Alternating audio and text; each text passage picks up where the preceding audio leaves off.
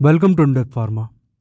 दोस्तों, आज हम एक ऐसी दवा के बारे में जानकारी लेने वाले हैं, जो सच में सुला सकती है, और सामान्य लोगों पर। इसका एक्शन इतना फास्ट है कि केवल कुछ ही मिनटों में ये इंसान को सुला देती है। तो आज हम जानकारी लेने वाले हैं एक ऐसी दवा की, जो आपको डॉक्टर के प्रिस्क्रिप्शन पर ही मिलेगी, और यदि आप अपने आप किसी मेडिकल स्टोर पर इसे लेने जाते हैं तो ये आपको नहीं मिलने वाली, क्योंकि इस ड्रग का मिसयूज़ भी किया जाता है। तो ये दवा क्या है? कैसे काम करती है? इसके उपयोग क्या हैं? साइड इफ़ेक्ट्स और इसे लेते समय क्या क्या सावधानियाँ रखी जानी चाहिए? चलिए हम डिटेल में जानकारी लेते हैं। तो दोस्तों, इस दवा का नाम है ट्राइका ट्राइका एक ब्रांड नेम है। दरअसल इसमें होता है alprazolam zero point two five M G कई लोग जानते भी हैं, लेकिन फिर भी मैं बता देता हूँ कि एल्प्राजोलम एक बेंजोडाइजापाइन क्लास का मॉलिक्यूल होता है, जिसका उपयोग मुख्य रूप से दिमाग को शांत करने के लिए या नींद लाने के लिए किया जाता है। इस वीडियो में आगे बढ़ने से पहले आप इसकी पैकिंग देख लीजिए। इसे टॉरेंट फार्मास्यूटिकल लिमिटेड द्वारा मार्केट किया जाता है और इसका प्राइस 2024 में लगभग 35 से लेकर 40 रुपए है। ये एक सस्ती, लेकिन शक्तिशाली दवा है। कई लोग इसे नशे के लिए और क्रिमिनल टेंडेंसी के लोग इसे अपराध के लिए यूज़, इनफैक्ट मिस यूज़ करते हैं। जैसे कि आपने ऐसी कई खबरें सुनी होगी कि ट्रेन में या बस में यात्रियों को किसी अनजान आदमी ने कुछ खाने के लिए दिया और इसके बाद यात्री बेहोश हो गया और उसका सारा सामान लूट लिया गया। या फिर महिलाओं, खासकर बड़े शहरों में, जहाँ क्लब कल्चर होता है, वहाँ महिलाओं के साथ होने वाला दुर्व्यवहार, इन क्राइम्स में ऐसी ही दवाओं का उपयोग किया जाता है। क्योंकि इसकी सबसे खास बात यह है कि इसका कोई स्वाद नहीं होता।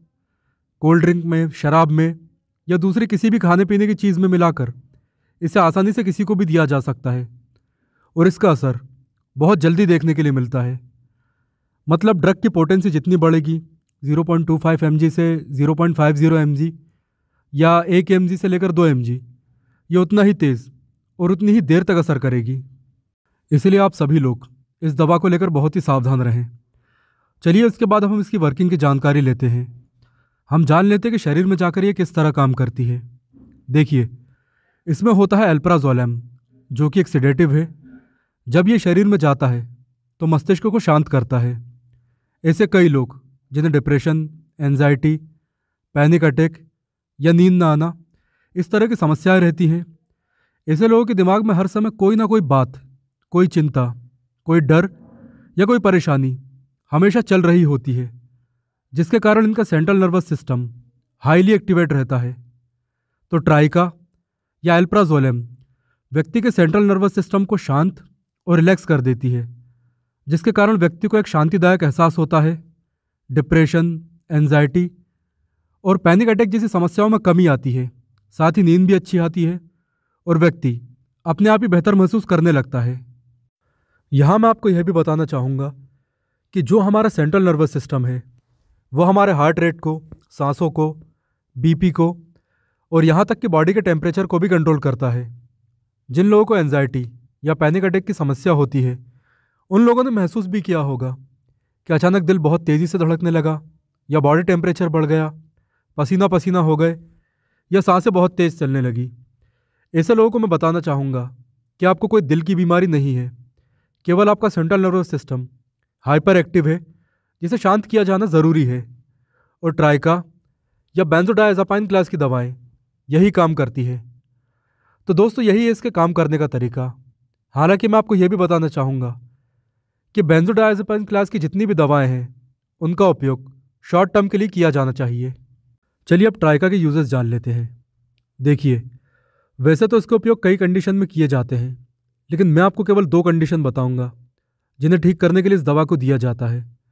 पहली है एनजाइटी या ज़रूरत से ज़्यादा चिंता और तनाव, और दूसरी है पैनिक अटैक यानी बिना किसी ठोस कारण के, एक काल्पनिक डर या तनाव या चिंता का एहसास होना, इन दोनों कंडीशन को ठीक करने के लिए और दिमाग को शांत करने के लिए ट्राइका को दिया जाता है।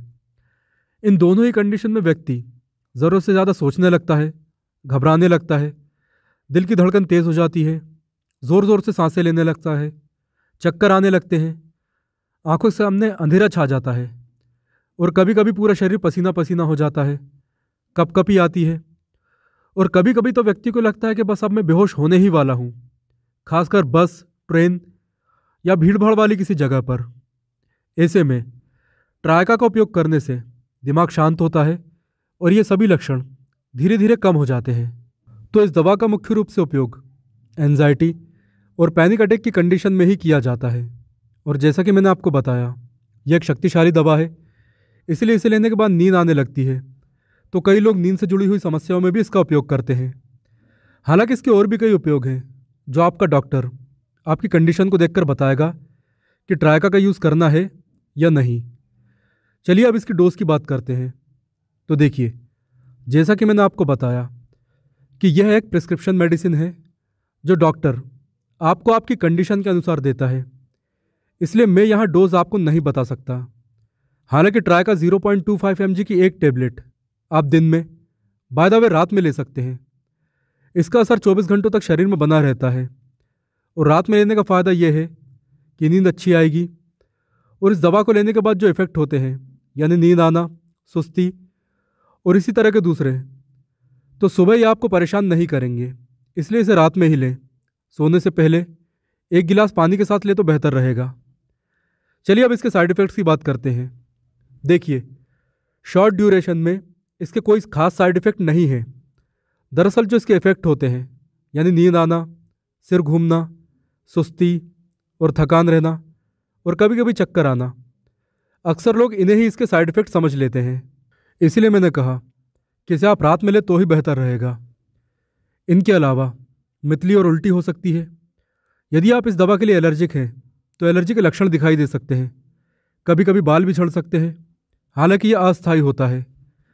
तो यही सब इसके माइल्ड साइड इफ़ेक्ट्स हैं। जो समय के साथ चले भी जाते हैं।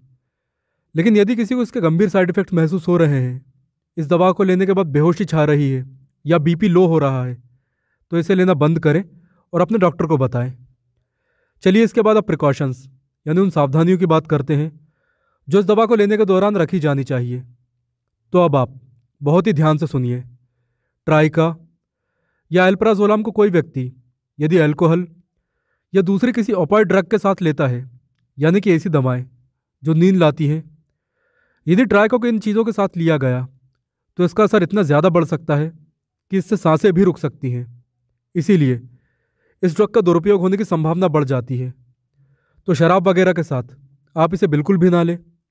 प्रेगनेंसी और ब्रेस्ट फीडिंग में भी ये दवा सेफ़ नहीं है, आप इसे अवॉइड करें। इसे लेकर गाड़ी ना चलाएँ, ऊंचाई पर ना जाए और याद रखें डबल डोज तो बिल्कुल भी ना करें। यह बहुत ही खतरनाक हो सकता है। इसके अलावा आप कॉरेक्स टॉरेक्स या दूसरी कोई ऐसी कफ सिरप जिसे पीने के बाद नींद आती हो, उसके साथ भी इस दवा को ना लें। और अंत में क्रिमिनल पर्पस के लिए इस दवा का उपयोग बिल्कुल भी ना करें। और महिलाएँ पार्टीज़ या पब में, यदि कोई अनजान या जान पहचान का इंसान भी आपको कोई ऐसी ड्रंक ऑफ़र करे, जैसे पीने के तीन से लेकर चार मिनट बाद ही आपको उबासी आने लगे या शरीर ढीला पड़ जाए तो आप बहुत ही सावधान रहें। तो दोस्तों, इसी के साथ इस वीडियो को समाप्त करते हैं। यदि ये जानकारी आपके लिए हेल्पफुल है तो वीडियो को लाइक और शेयर करना बिल्कुल भी ना भूलें। And thanks for watching.